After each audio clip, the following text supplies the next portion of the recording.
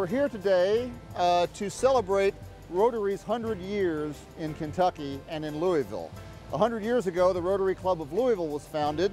by a number of local business folks, uh, and very quickly after that, they developed the uh, concept of doing service work in the community, which is something we have been doing ever since uh, in Louisville, Kentucky. Uh, this is a historical plaque which celebrates on this side the Rotary Club of Louisville, and on the other side our first meeting venue, which was the Henry Watterson Hotel, which stood at this site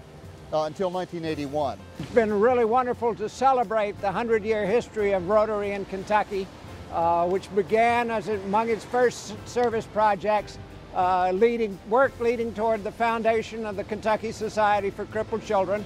And for our 100th anniversary in, in 2012, we worked on uh, creating the Rotary Promise Scholarship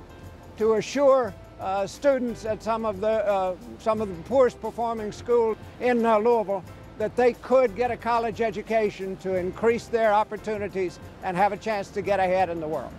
And we look forward to another 100 years of changing lives uh, here in Louisville and really around the, around the globe.